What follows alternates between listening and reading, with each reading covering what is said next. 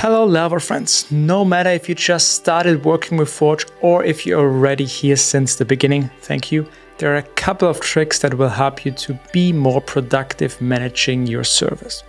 Let me show you we're going to start here very simple by taking a look at our dashboard here and at the bottom you can see recent events. So if you want to know what's going on on your account, you can check out this tab here and see, yeah, I've been playing a lot with my Forge Playground server, like installing PHP 8.3, enabling maintenance mode, and so on. So it's a good idea to take a look at those if you want to see what's going on with your account. Next, we're going to talk about the search. So we have a search up here. You have for sure seen it already, and you can search for servers or sites. Like here, you can see I have a server called Forge Playground, but I also have a site here. And you can quickly just go to those by clicking here. But there's a little bit more that you can do. So if I search now for staging, you can see that I also see here this site here. So let's take a look how this is working. So under settings for my specific site here, if I scroll down here at the bottom, you can see I have tags here. So I have tagged this specific site here with staging, and this is why I will also find this while searching. So this is pretty cool. So if I search now for production, you can see that I also get a bunch of sites here which I have tagged with production. So it's a good idea um, to tag your sites and servers if you want to find them a little bit more easily. Next, we have something pretty cool. Let me show you the command palette. You can open it up with Control K or Command key depending on your um, Windows, Mac, or Linux. And this opens up here this new navigation here. So we have a search here, so we can still search for stuff like we did before, where we see a server or a site. But of course, we also have immediately some help here. So we can open the documentation, we can contact the support, but we can also navigate within our account, go to the dashboard, uh, manage our circles, recipes, and so on. So there's a lot that you can do. But what you maybe didn't know already, if you go now to uh, our server here, you can see that now have specific items regarding our server. So I can copy the server IP, I can jump to the sites panel, and yeah, to all the other pages, monitoring, backups, databases, PHP, you name it.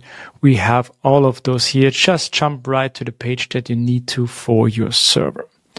Also here at the top, we have now this breadcrumb menu, so we can go down here, a step back here.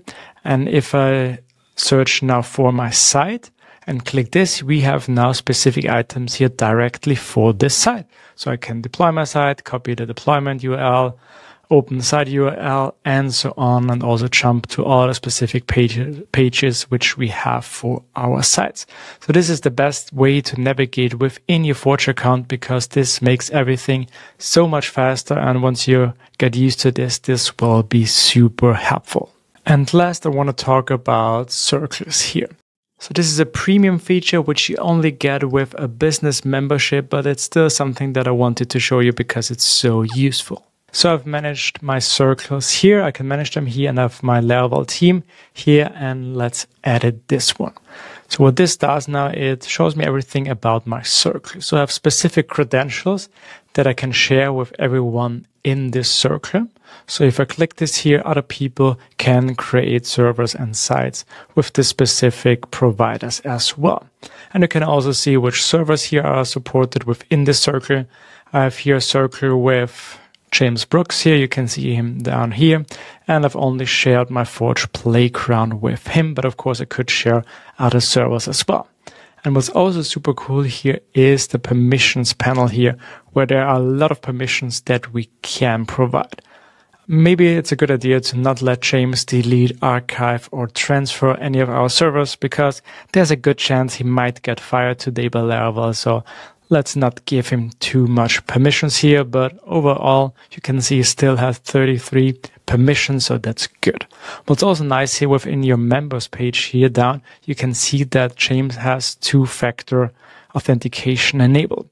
So you cannot force anybody to do this, but you can still see who has it enabled or not, which is a good idea to tell them you should do this because this is very helpful. The reason I'm showing you circles here is because we know that some users just try to share the main account with other developers, which of course is totally fine, but it leads to a few issues. For example, two-factor authentication can now become a problem, Or again, permissions. You don't want anyone else to delete any of your servers without you even knowing who it was. So this is where Circles can give you a productivity boost when managing your servers in a team and give you this extra layer of security. If this helps you to be 1% more productive every day, I have already succeeded and you have too. Have fun managing your servers. Bye.